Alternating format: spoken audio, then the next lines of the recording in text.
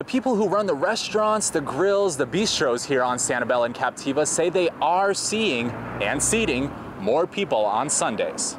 Sunday started out really good with people coming over the causeway at the Knoll Toll. Rich noted the free trip on the causeway has led to turning more tables, a common theme from the people we've talked to.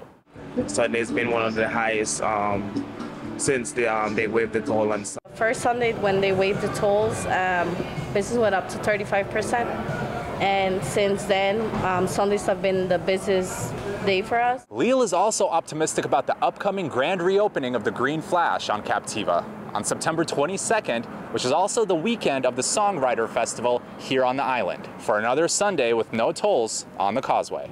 You know, like a lot of like customers that come in from Fort Myers, all over Fort Myers, you know, and um, they usually come here because they see there's no tolls. Despite the intense and ongoing recovery efforts, businesses extend their invitations, saying they need visitors now more than ever. On Sanibel, everybody says to me that they don't want you out here. We want you out here. We want you to come out and enjoy Sanibel. Have a good time in Sanibel. Go While the toll booths aren't taking that revenue on Sundays, six bucks with each passing car, Sanibel businesses say they are working those long hours to be ready for the busy season, especially as the lost fall and winter of last year.